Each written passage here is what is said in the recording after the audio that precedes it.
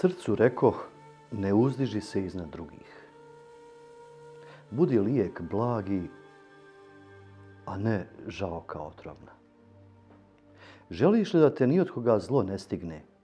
Ne govori zlo, ne uči zlu, ne misli zlo. Vrlo je zanimljivo ovako kada slušamo mudrosti velikih ljudi, Nerijetko nam se učini da nisu rekli nešto posebno, nešto što mi ne osjećamo i ne čutimo bilesi tokom svakog dana u svom životu. I svi mi jedni drugima govorimo, ako želiš da te ne stigne zlo, nemoj ga činiti drugima. Jer sve što čovjek čini drugima, na koncu se vraća njemu samom. Hazreti Mevlana u još jednom bejtu kaže nikad ne vidjeh ja u svom životu da je neko zlo sadio, a brao dobrotu. I to je jedan princip koji jednostavno mi osjećamo u svakom danu svoga života. Pa ipak, bitno je ponekada da pročitamo ove mudrosti velikih ljudi kako bi nas nadahnule na razmišljanje, na činjenje dobra, na poticanje drugih lijepim riječima. Ono što je meni lično vrlo bitno kada se družim sa mudrostima ovih velikana jeste način na koji oni drugima ukazuju na propuste, na koji način, kako, kojim biranim riječima savjetuju ljude na dobro i kako sa posebnom pažnjom, strpljenjem, žele prenijeti nešto što je lijepo i na druge. Bez da taj drugi bude povrijeđen. Bez da pomisli da mu je neko učinio nešto nažao. Nerijetko i kada smo sasvim u pravu, sam način govorenja toga u čemu smo u pravu nekome ko djeluje suprotno, poništava sve ono što smo mi u pravu jer nismo izabrali lijep način da to kažemo. Jer savjetovani smo da ukazujemo na, na propuste, na greške, ali u samoći, kriomici, potajno. Tako da zovnemo nekoga i kažemo znate šta ili znaš šta ako nam je blizak, ja mislim da to što radiš nije u redu, a ti kako hoćeš. Najgore što nam se može desiti jeste da jednostavno glumimo boljeg od njega i da ga javno prozivamo za nešto što možda koliko sutra i sami učinimo. Pa to licemjerje bude na licemjerje, a ne na dobro i korist nekom. Prije svega nama sami.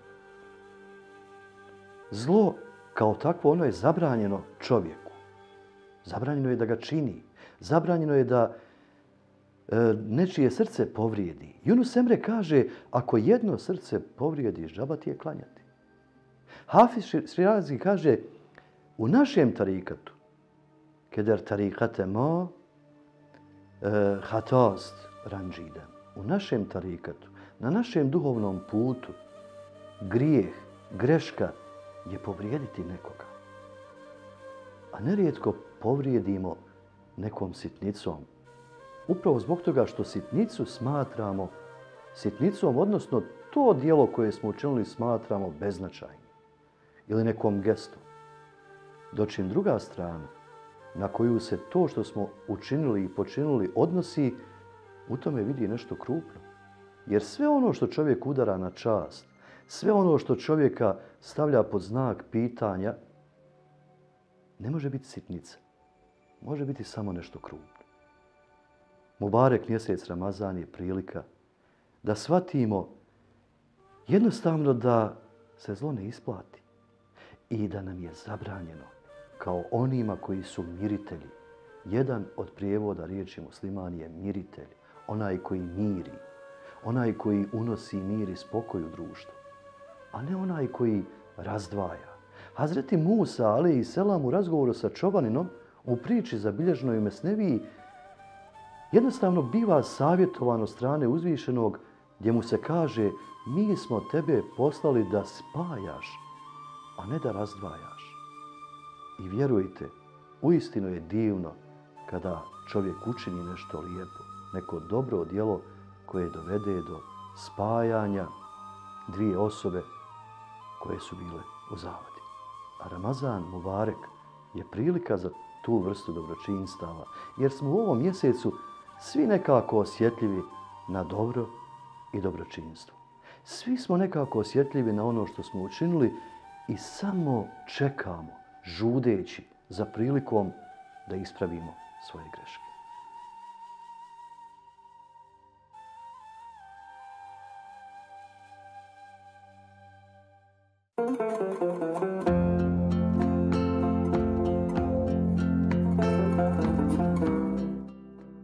Karavane svijetle što Božijim putevima hode, traže mjesto smiraja svoga. Mjesto gdje će Bogu dovu da čine, za zdravlje i bereke da mole. Nađuše ga u Bosni, ozelenjenoj listovima šume. U potrazi za najstarijim džamijama u Bosni i Hercegovini eh, došli smo do mjesta Miljevići eh, kod Olova. Esed Efendija, Eh, ovo pred nama je eh, drvena džamija, stara džamija u Miljevićima, a njen specifikum je zapravo to što je eh, jedna od rijetkih u Bosni i Hercegovini koja je u potpunosti od drveta. Od kada je ova džamija na ovim časnim temeljima ovdje?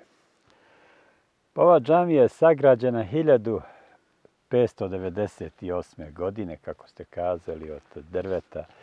Kao što vidite ovdje je krajolik bogat e, crnogorničnom šumom i od toga je ona i sagrađena. I mi hodamo putem kojim su hodali još prije 500 godina. Ovo je karavanski put koji je povezivo Tuzlansko-Sarajevsku regiju gdje se stalno karava, gdje su karavane stalno prolazile. Bilo je jako frekventno. Bio je ovdje život e, zastupljen. Ljudi su ovdje u ovom, ovoj plodnoj kotlini pravili kuće, imali potrebu da naprave i sebi, ali i putnicima, namjenicima e, džamiju. Prirodno je bilo da ona bude od prirodnih elemenata, od e, drveta, jer ljudi ovdje na zemlji najčešće e, su u kontaktu sa drvetom. Ona je od tada pa sve do 1936. godine e, bila e, sagrađeno sagrađena od drveta i onda je se prestupilo e, i njenoj rekonstrukciji ili da kažemo zaštiti. Tada je te 36. godine promijenjen krov, obzirom da je bio datroje nakon 400 godina, Šindra je popustila možete misliti kakav je kvalitet drveta bio da je Šindra 400 godina pokazivanjima ovih ljudi da se niko nije sjetio i ne, ne pamti da je e, Šindra mijenjana. Ali eto, te 1936. godine Šindra je zamijenjena. Džamija je i unutra i svana e, omaltana da bi se drvo njeno zaštitilo. I ovo je bila centralna džamija Gornje Kolovskog kraja. Njoj gravitira 15 sela. U ovih naših 15 sela bila je jedina džamija gdje su ljudi dolazili u njoj e, danonoćno boravili, kad kažem danonoćno, znači ona je bila otvorena za sve naše vjerske aktivnosti na ovim područjima. U njoj se djeca podučavala i vjeri i ovo svjetskim znanostima. Kažete mi, momila sestra Efendi, ušli smo u, u Harem džamije. Ovdje vidimo nekoliko uh, starih uh, E, nišana, što također zapravo govori o tome da je ova džamija vjekovima na ovom mjestu. Dakle, da li se zna i ko su zapravo e, ljudi koji su ukopani u Haremove džamije? Ovdje se ljudi ukopavaju kako postoje ova džamija. Znači, preko 500 godina ovdje imamo e, nišane. Naravno, zubom vremena vrlo malo tako starih nišana je ostalo sačuvane. E, većinom su to nišani ovih e, živ, mještana koji su ovdje e, živjeli. Ovdje su ukopani oni koji su iz ovog mjesta Miljevići. I to je ono što mi znamo i prema našim istraživanjima trenutno najstariji nišan je prije 200 godina koji je sačuvan. Evo, to je ovaj E, mali niša, nažalost, nemamo na njemu e, natpis, imamo e, godinu gravitiranu 1853.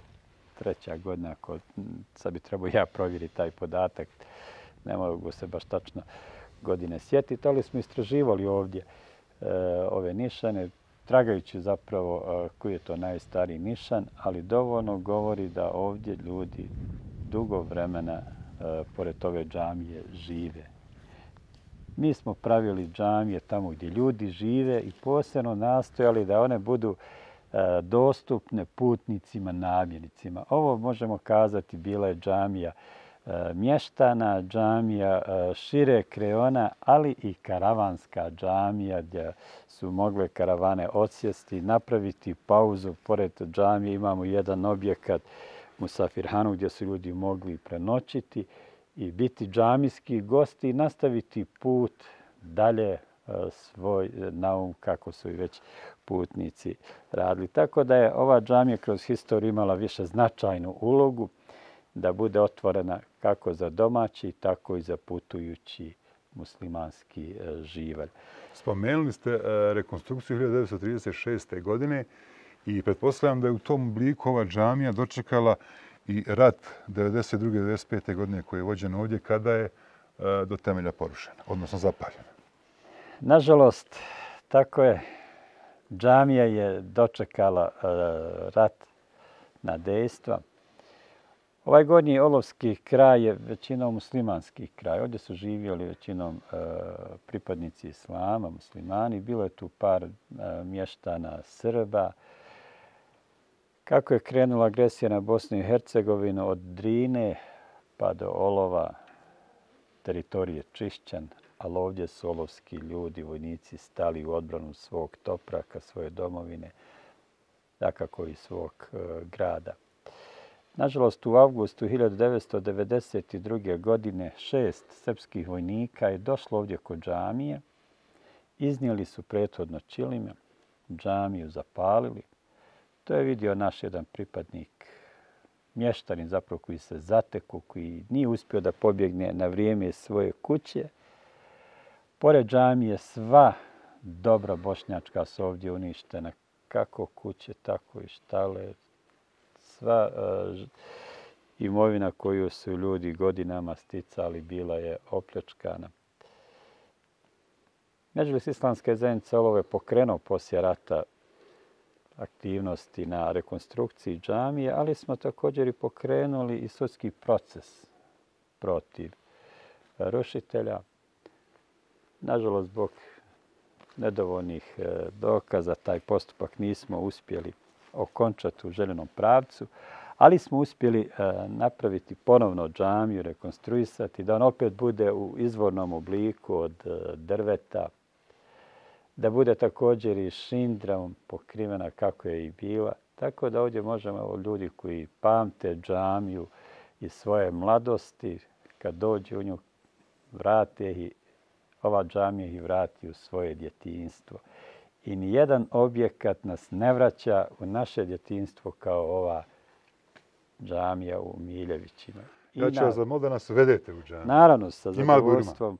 Mi ovdje uvijek dolazimo, rado se odazivamo, jer ovo je džamija stara, e, za, ali džamija naše, naše mladosti. Samo ću vas zamoliti da stanemo evo, ovdje. E, e, nalazimo se zapravo njenim sofama, koje su ovako jako interesantne, dakle, s obzirom da je ovo drvo okolo? Je li ovako bilo od uvijek? Pa naravno uvijek je ovako bilo i malo je nesrazmjeno. Nije ista širina s lijeve strane i s desne strane. E, ovdje je dat prednost e, vratima da budu malo ka e, desnoj strani više bliža desnoj. Desna strana ima prednost dobra. Lijeva je malo e, negativnosti, ali e, sofe su tu kada putnici posebno nisu spremni, nisu dovoljno očišćeni e, svoje odijelo ako, nije, ako je malo zapljano sred puta, da ne bi pregledali džamijski ambijent, onda da klanjaju vani na sofama, da ne nanose, e, da ne unose prljavštinu uh, džami. Ljudi su o tome vodili račune jako mnogo i tada, naravno i sada. Mi kada smo pravili konstrukciju, jedan naš džamatli je rekao, a sofe moraju biti. Zašto? Ako neko dođe sa seljanim s njive, ne može takav u džamiju, a može pred džamiju.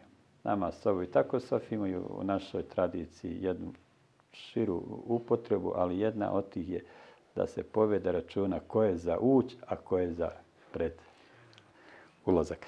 Ima li Bujruma? Bujrum. E sad, Efendijova džamija, iako je nanova izgrađena, ali nekako kad se u nju uđe, jednostavno odiše tom prošlošću. Dakle, zapravo, e, vraća nas u taj period i sve ono što smo malo prije kazali, zapravo ovdje možemo i da vidimo. Džamija kako je svana u drvenom obliku, kad se vidi da je sva od drveta, i unutra kad uđete, opet vidite sve drvo.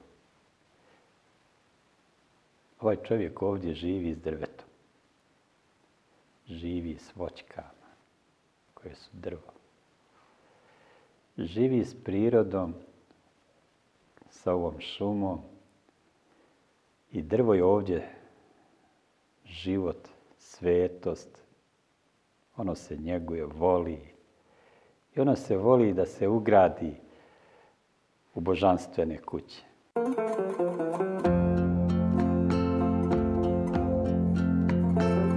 Božanstvena kuća u Miljevićima kod Olova, iako je bila rušena i paljena, sačuvala je svoje posebnosti.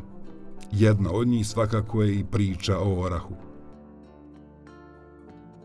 Naime, e, kada sam pitao šta je to i kakav orah, onda su mi govorili da je Rahmetli Hadžija Savko Dedić prilikom odlaska na hađ s hađa donio veliki krupni indijski orah kojeg je poklonio svojoj Miljevićkoj džami. To je bilo negdje 1971. godine, 2012. godine, Hadžija Hasan Dedić je otišao na hač i donio ponovno orah iz Mekke i ugradio kao poklon hediji ovoj Miljevičkoj džami. Priča o orahu je živuća priča i nešto što ostaje jedno trajno osjećanje na ovu džamiju orah. Na ovom mjestu zaista i najbolje možemo vidjeti moć koju posjeduje jedini jedinstveni Bog. Moć da kuću u kojoj se njegovo ime hvali, moli i doziva, vrati onima koji su iskreni.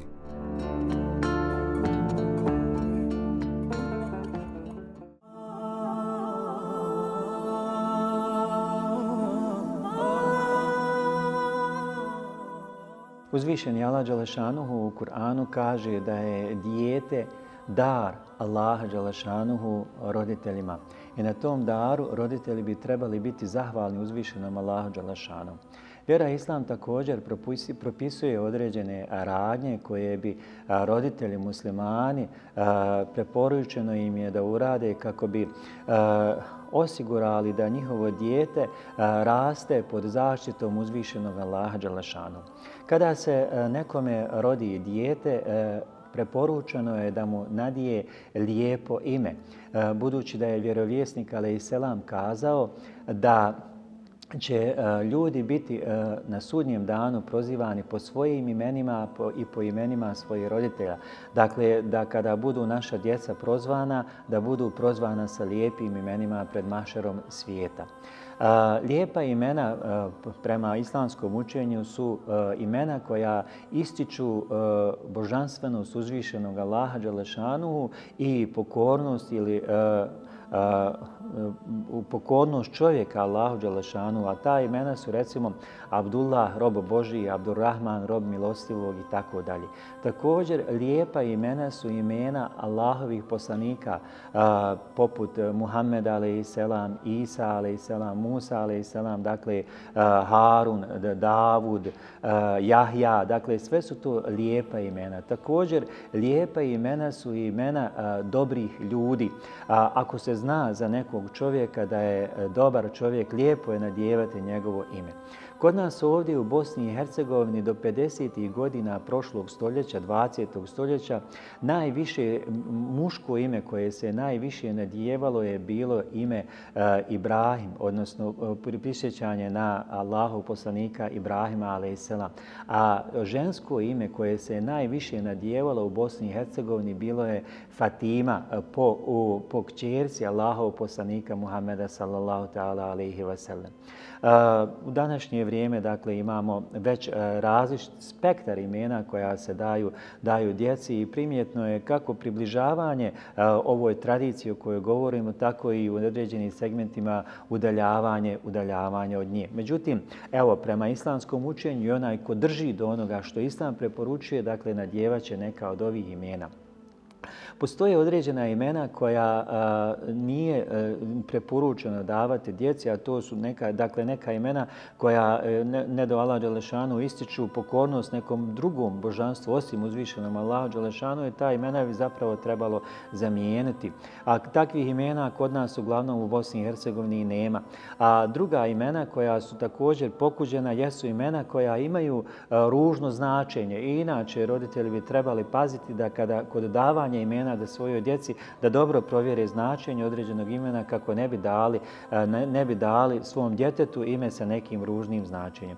Postoje određena imena poput mog imena Elvir koja nemaju značenje i koja različitim tradicijama zapravo negdje recimo kod nas u Bosni i Hercegovini bošnjaci muslimani nadjevaju takvo ime Elvir. Već u Španiji katolici nadjevaju ime Elvir i tako dalje. Dakle, da, da li su to islamska imena ovdje kod nas u Bosni i Hercegovini? To jesu islamska imena. Dakle, imena i, i, koja zapravo su data muslimanskoj djeci koja žive tako kakve, pod tim imenom i s tim imenom žive, žive žive islam ovdje u Bosni i Hercegovini, a nemaju, nemaju ružno značenje. E, sljedeće što bi roditelji trebali obratiti pažnju kada im uzvišeni Allah Đelešanu daruje dijete, jeste da djetetu prouče ezan na desno uho, a i kamet na lijevo uho. Ovo je zbog toga da ove istine vjere zapravo uđu u uho djetetu i da postanu sastavni dio njegovog života i da dijete kada odraste zapravo živi sa istinama da nema drugog Boga osim uzvišenog Allaha Đalešanu, da je Muhammed a.s. njegov rob i njegov poslanik i da dolaze na namaz i da dolaze na spas kako se to spominje i u jezanu i u ikametu. Kod nas je ovaj običaj, dakle, e, ranije nije bio prisutan, u današnje vrijeme je e, mnogo prisutniji i e, roditelji koji znaju, oni sami prouče svoje djece, a oni koji nisu baš sigurni da će to kako treba uraditi, oni zovnu i mama i on prouči njihove djece jezan na desnu i kamet na lijevo uho. Interesantno je recimo da je u, oko, u okolini olova dakle, bio običaj ranije da se samo muškoj djeci uči i, uči i kamet. Dakle, ezan na desno uho, a i kamet na lijevo uho. A ženskoj djeci je samo učio ezan na, na desno uho, a nije, nije, se učio, nije se učio i kamet. To je zbog toga što e, kada klanjaju namaz, žene e, ne, ne uče i kamet, pa je neko pretpostavio da onda ni ženskom djetetu ne treba proučiti i kamet, što je naravno pogrešno, jer je vjerovjesnik, ali i selam, dakle, preporučivo da se i muško i ženskoj djeci prouči ezan na desno uho, a i kamet na lijevo uho. Sljedeće što bi roditelji trebali da posebno povedu pažnju kada im Allah Đelešanu daruje dijete, jeste da žrtvuju kurban za svoje dijete. Naime, poznato je da je Allahov poslanik, ali i selam, kada su mu se rodili unuci eh, Hasan i Husein, da je za njih žrtvovao, žrtvovao kurbane. Ovaj kurban, se, kao što je e, inače svaki kurban koji se žrtvuje, dakle i ovaj kurban koji žrtvujemo danima, bajrama, je zapravo uh, simbol naše vjere ili pokazivanje vjere uzvišenom Allahu Đelešanu, ali u isto vrijeme i predstavlja otkup a, ili zalog je taj kurban za dijete za koje se žrtvuje. Naime, kao što je poznato, prvi kurban koji je žrtvovan je kurban koji je žrtvovao Ibrahim a.s. kako bi otkupio svog sina Ismaila.